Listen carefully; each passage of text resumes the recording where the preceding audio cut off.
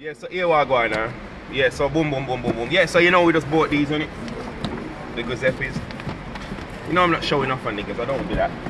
I ain't showing off on the gallum either. But you know I love my shoes in it. So here what here what now. So these are like some exclusive shits in it, like they got all the fur on it. You see what I on? Look good, you know. They're bad, so it just goes with my jacket, cause you know I keep my shit clean in it. Yeah, you know how much there was, you know what's going on. Yeah. So you know that hard work pays off, you can't just work and not and not spend the peas, you man. We don't do that. Kids stay in school.